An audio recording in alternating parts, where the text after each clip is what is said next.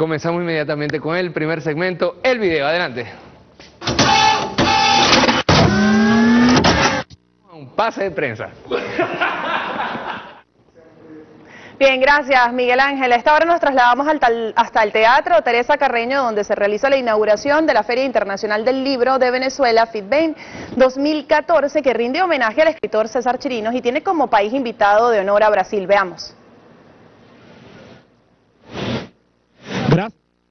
Compañeros en los estudios, nos encontramos en este momento transmitiendo desde el Teresa Carreño teatro principal de la ciudad de Caracas, donde en este momento el vicepresidente ejecutivo de la República, Jorge Arraza, inaugura la Feria del Libro. De este 14 de marzo del año 2014, viernes en la noche, estamos en el Complejo Cultural Teresa Carreño y vamos a inaugurar la décima feria del libro de Venezuela, nada más y nada menos que la décima feria. Aquí me acompaña Fidel Barbarito, ministro del Poder Popular para la Cultura, están los equipos del Ministerio de la Cultura, está por supuesto nuestro vicepresidente del área social, Héctor Rodríguez, está la presidenta del Centro Nacional del Libro, Cristian Valles, y están estos niños y niñas que me acompañan para abrir, para y el embajador de Brasil. Pues, vamos a ir a visitar el stand de Brasil, que es el, el país invitado principal de esta feria del libro. Vamos entonces a desatar esta cinta como símbolo de inauguración. Vamos a ponernos por aquí, que sean los niños y las niñas. Ponte por aquí. María Victoria, Valentina, Johnny. Ajá, vamos a darle. Uno, dos, tres. ¡Vamos, fuerte! Ay, ay, ay, ay, ay, ay. Listo, muy bien. Con la juventud, con nuestros niños. Porque el proyecto de patria nuestro, el proyecto del comandante Chávez, es para los niños y las niñas, para la patria que vamos a consolidar. Y si algo consolidó, ¿tú tienes micrófono? Sí. Sí tiene. Si algo consolidó el comandante Chávez fue la lectura, la cultura. ¿Cuántas veces no lo escuchamos repetirnos hasta la saciedad aquella frase de Martí, un pueblo culto es un pueblo libre. La misión Robinson, de las primeras misiones, que el pueblo aprendiera a leer, a escribir funcionalmente. Bueno, hay tantas cosas que hizo el comandante Chávez, como por ejemplo aquella edición de un millón de ejemplares del Quijote, entre tantas otras. Vamos, Los Miserables también, ¿cuántas veces no nos habló de Jan Bayan?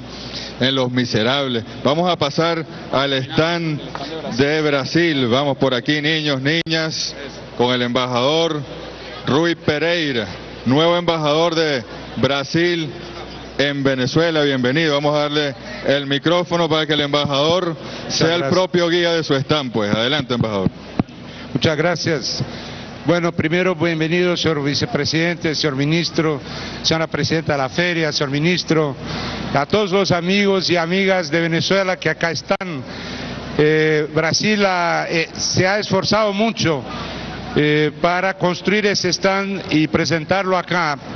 Vamos a tener la oportunidad de recibirles a ustedes y un poco enseñarles lo que hemos traído para esta feria. Hemos traído prácticamente una tonelada de libros. Hemos traído la mayor parte de los libros son de editoras públicas porque el tema de la feria este año es la edición pública, sus problemas y perspectivas. Eh, y hemos traído algunos temas, señor vicepresidente, que creemos merece y merecerá seguramente la atención tanto del gobierno de Venezuela cuanto del gobierno de Brasil y vamos a trabajar juntos. Esta es la invitación de la presidenta Dilma Rousseff que yo transmito a usted y le pido que transmita al presidente Maduro. Vamos a trabajar juntos. Siempre hemos trabajado juntos. Exactamente. Desde que llegó el comandante Chávez, yo recuerdo las buenas relaciones con el presidente Cardoso, Fernando Enrique Cardoso. Y con el presidente Lula. Con Lula, inmejorable. hermano. Y con Dilma, bueno, una hermana también. También, El comandante y del presidente Maduro. Exactamente. Y vamos a trabajar, digo, juntos, en por lo menos, además de todo lo que hacemos, y hacemos muchísimo, como usted se, bien lo recuerda, eh, vamos a trabajar juntos en por lo menos dos temas que yo creo que son muy importantes. Literatura para invidentes, literatura para que no, los que no pueden ver. Ese es un tema que vamos a discutir durante la feria. Estamos trayendo especialistas de Brasil que trabajan con eso, se dedican a eso. Y vamos a trabajar también muy, muy, muy intensamente y juntos. Además, el ministro de Cultura lo mencionó en la visita que le he hecho recién.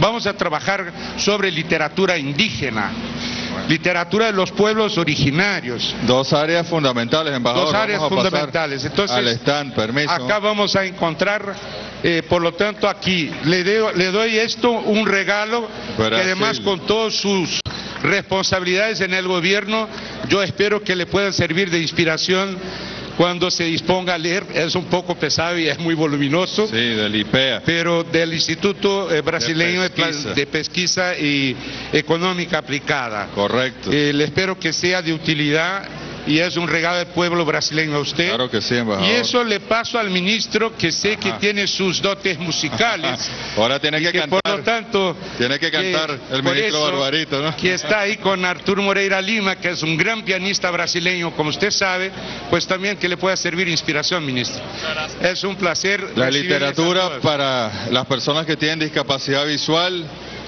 y nuestros pueblos indígenas, fundamental.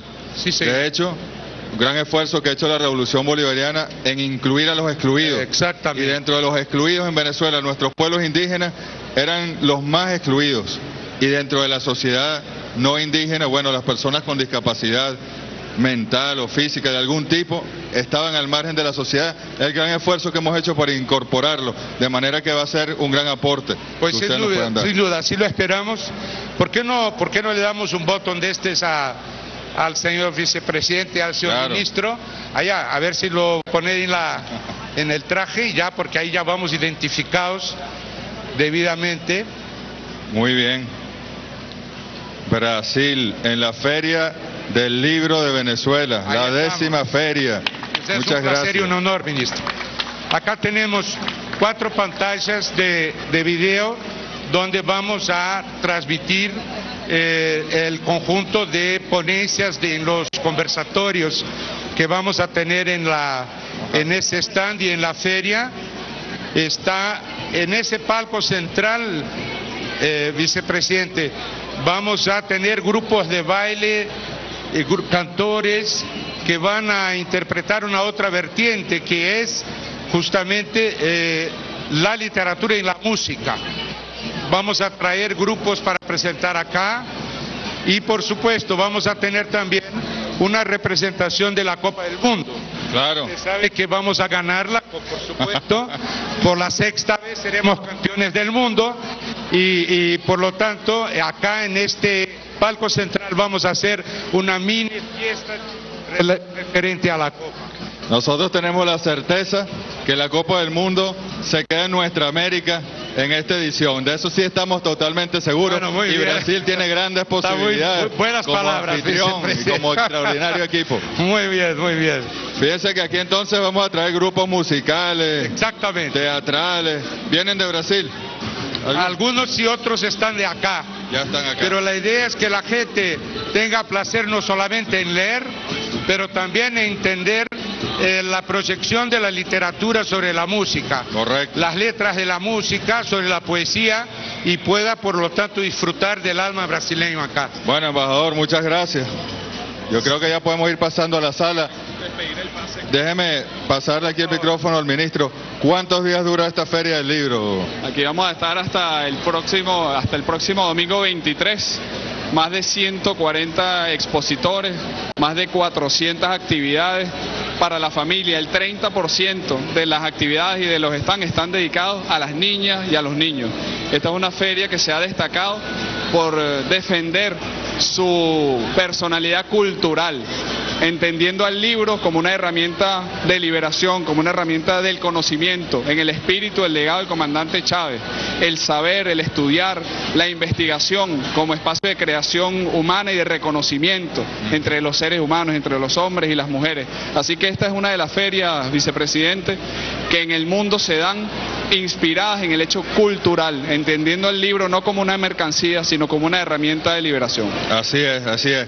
Permíteme para que Héctor Rodríguez, vicepresidente social, él es el ministro de Educación, una gran invitación a nuestra juventud, nuestros estudiantes, para que se incorporen y para que vengan, bueno, no solo a comprar libros, como tú bien lo decías, sino a familiarizarse con todo el mundo de la literatura venezolana, brasileña, nuestroamericana, y para que a partir de este que quizá el evento cultural más importante que hace anualmente la Revolución Bolivariana desde hace 10 años, bueno, podamos proyectar el conocimiento para la liberación, Héctor. Así es, vicepresidente. Primero que nada, felicitar al equipo de gobierno que ha desarrollado estas hermosas ferias Segundo, decirle, vicepresidente, no solamente invitamos a toda la juventud, a los estudiantes, sino que está dentro de la programación escolar toda una logística para que las escuelas del Distrito Capital vengan como parte de sus actividades académicas a visitar esta feria y cuando esta feria se despliegue por el territorio nacional, lo mismo haremos en los respectivos estados. Y también recordar, vicepresidente, que a este esfuerzo que ha hecho el gobierno bolivariano, el comandante Chávez, se suma el esfuerzo que se está haciendo con la colección bicentenaria más de 40 millones de libros entregados gratuitamente para que nuestros estudiantes, nuestras estudiantes tengan una educación de mayor calidad y de mayor pertinencia, porque no solamente los imprimimos y los distribuimos de forma gratuita, sino que lo hacemos con manos venezolanas, con corazones venezolanos, con conciencia venezolana. Y un poco de la coyuntura nacional, eh, vicepresidente, porque muchos han dicho que la coyuntura está marcada por el intento de odio de un pequeño sector de la sociedad esa es una cara de la moneda. La otra cara de la moneda es que la respuesta que le ha dado las grandes mayorías, chavistas y no chavistas, es una respuesta de madurez política, de amor, de cariño, que ha sembrado Chávez gracias a estas políticas educativas, políticas de libros estas ferias de libros son parte de lo que ha hecho posible que hoy en Venezuela, a pesar de la provocación, a pesar de la inoculación del odio, la mayoría queramos la paz y el amor. En estos libros, en estas letras, en estas páginas es donde se ha formado la conciencia política que hoy vemos en el pueblo venezolano. Así es, Héctor, muy bien. De verdad que la conciencia que sembró el comandante Chávez en este pueblo, bueno, está sembrada ya de manera permanente para el futuro. Y además, como bien lo dice Héctor, por ahí andan pequeños focos violentos. Les cambiamos sus bombas Molotov y sus piedras por un libro. Vengan para acá a leer. La juventud venezolana toda, los chavistas, los no chavistas, aquí está esta feria del libro, como están tantas universidades que la revolución ha abierto, que la revolución ha ampliado, tanto el sistema escolar. Ahora todos los niños de Venezuela tienen no solo educación gratuita, obligatoria como debe ser, sino que además tienen su alimentación, tienen sus libros, tienen su canaimita. Estos son los milagros de la revolución bolivariana y bueno, este es parte del milagro. La décima feria del libro de Venezuela en los espacios del Teatro Teresa Carreño. Vamos a despedir este pase, vamos a la sala José Félix Rivas, que está recuperada una hermosa sala de este complejo cultural y desde allí vamos a interactuar con los escritores y con los invitados especiales a esta Feria del Libro. Muchas gracias.